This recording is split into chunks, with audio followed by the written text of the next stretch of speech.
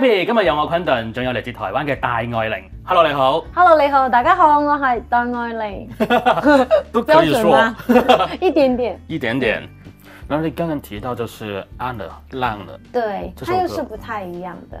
嗯，其实我我就是先看 MV 嘛，嗯，我我看到有不同的情侣，嗯，在里面，嗯，然后我再看一些诶介绍的文案文字，就是说，诶。呃，滕奇老师是想写一个呃同性恋的故事。嗯，其实这个方向是你有跟呃滕奇老师去沟通过吗？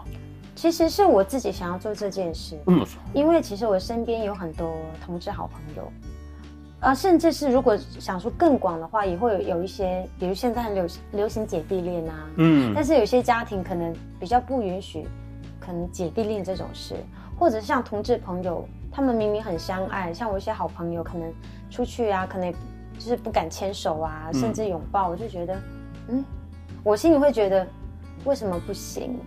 然后之前也会自己也会参与一些就是同志游行的活动，因为对于我来说，我是一个比较低调的人，嗯，但是我觉得有一些我觉得对的事，我都会默默的去靠我自己的。还有我周边人的力量去支持，嗯，就像《暗能量》的这首歌，我觉得 我的音乐有一些歌是可以帮某一些人、某一些族群说话。对对，那我觉得，在我心里，我觉得他们真的很优秀、很敏感，而且我很多朋友都是非常的有才华，嗯，然后很重感情，也都很孝顺啊什么的。但《暗能量》的这首歌，我很早以前就想说，哎，那我是不是有一首歌可以？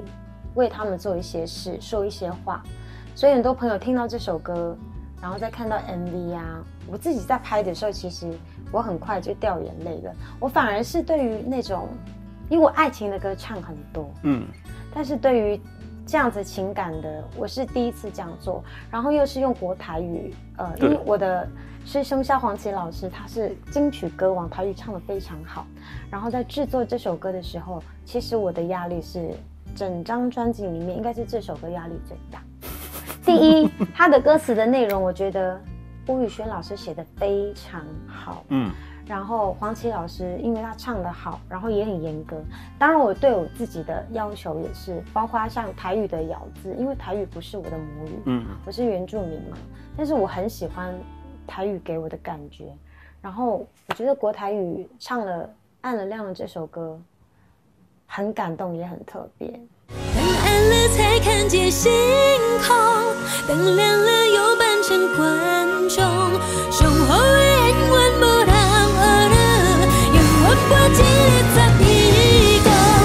后我唱了这首歌之后，我觉得我身边有很多朋友给我的一些 feedback，就是他们听了这首歌就就哭了。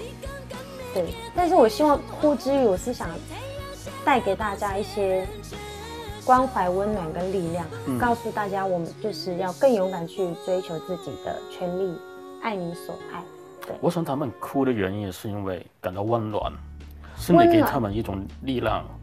我觉得，我觉得是互相的，因为我唱这首歌帮他们说话，但是其实我在他们身上我也得到很多的爱，嗯，跟支持。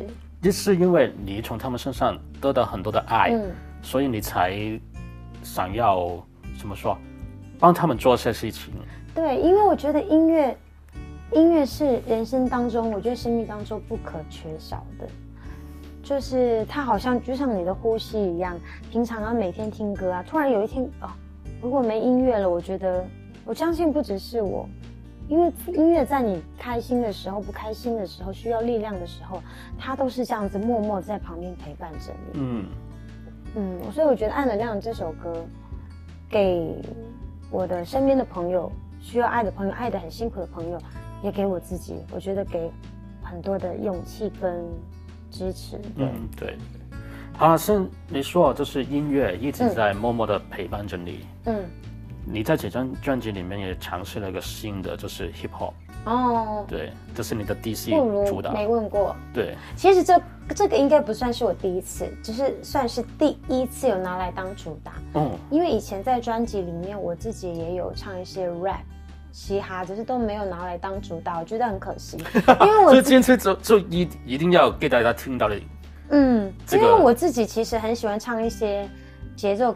感比较强的歌，中版快快板，因为我喜欢一些律动，本身原住民比较热情活泼可是大家知道你都是一些飙高音的，都是，或者是比较摇滚的《千年之恋》等等。对对对。那不如没问过这首歌，就是比较呃轻松，然后中版很舒服，然后跟了果蛋的合作，因为第一次跟他合作，我觉得很有默契。嗯。然后很多人，我有我其实有一点小小的讶异，觉得像我这次在台湾做宣传。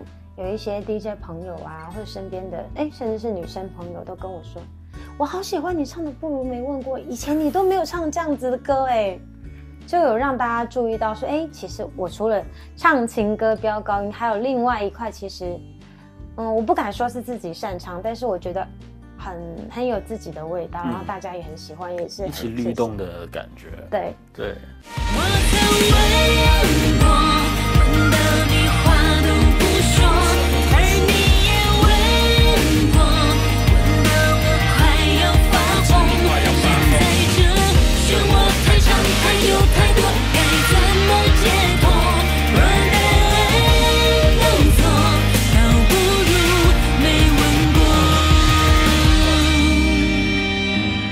来到第九张专辑，也试了很多自己呃想要尝试很久，可是一个新的唱法给自己呢。嗯，下一张专辑你自己已经有想法了没有？下一张专辑，哦，你问的问题很快哦。因为其实这个是在台湾是十月份发行的，那其实呃还在一直做宣传。除了做宣传之外，其实下一步的动作，其实我们跟公司都有在讨论，因为我希望。下一下一张，今应该说新的一年，嗯，如果新的专辑来不及，我也希望可以有一些，比如单曲啊，出个两两首、三首。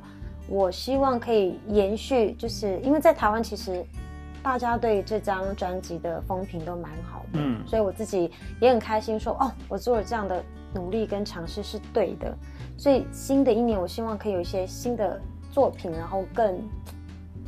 我我还不知道那个方向是什么，但是我希望是会更更新更特别，嗯，然后因为我觉得现阶段的我，就是野心比较大一点，希望能够做很多不同的尝试。当然啦，我觉得还是希望多一点 live 的演唱会，就像去年台湾新专辑台北跟台中开都开了演唱会，然后其实反应都蛮好，要谢谢大家的支持。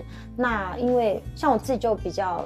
少来香港，让大家认识我，所以我希望能够多一点海外、香港啊、内地啊、新马，可以多一些，不管是小的还是大的，我觉得用 life 的形式让大家看到我、听到我，然后跟我有一些比较近距离的互动，因为我特别爱。我觉得那个是最快让大家了解我的音乐，然后我的人的一个方式。就像刚刚你说过，你其实不喜欢去经历这个录音室去录音，也是唱 live 的。因为每次在一个小房间里唱歌，我都会觉得我比较难进入状况。嗯，我觉得可能跟原住民的天性有关系，因为我们就是在乡下、在海边啊，在山上唱歌，就是那种很很广阔的对环境，然后心情是很 free，然后就觉得唱歌是啊。很幸福，嗯，对，所以其实我很希望能够，谢谢大家，香港的朋友多支持，这样我就可以。因为上港开唱。对，因为我觉得不管不管是就就像我刚刚讲大的小的，嗯，很多事情都是慢慢慢慢一步一脚印做起来的，最主要是要先让你看到听到。那个才最重要。嗯嗯嗯，其实我很开心听到，就是你已经呃来的第九张专辑了，就是都唱了蛮多年了。可是你依依然很喜欢一些新的东西，想要突破自己，所以这个很棒。因为我觉得啊，虽然第九张专辑，然后零零二年一直到现在也哎这样子十六，差差不多。虽然我中间有经过一些挫折停了下来，但是我觉得老天爷还是给我机会一直。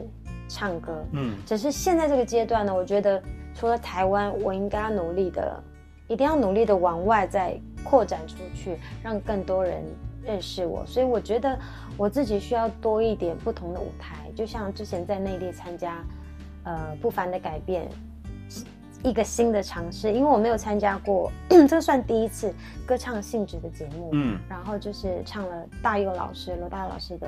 个恋曲一九九零，然后把它重新改编，我就觉得哇，刚开始要去的时候，觉得有点害怕，会觉得哇，第一次嘛。但是站上了舞台唱歌之后，就觉得 唱完我就跟我老板说，麻烦就是我要努力多争取一些站在海外舞台的机会，嗯，因为那个我觉得会刺激你，让你。